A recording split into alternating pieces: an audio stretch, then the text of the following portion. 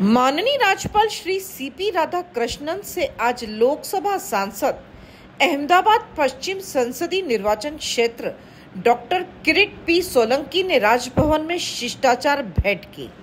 माननीय राज्यपाल श्री सीपी राधा कृष्णन से आज झारखंड उच्च न्यायालय के मुख्य न्यायाधीश माननीय न्यायमूर्ति श्री संजय कुमार मिश्रा ने राजभवन में शिष्टाचार भेंट की। इसी के साथ बने रहिए एशियन के साथ। धन्यवाद।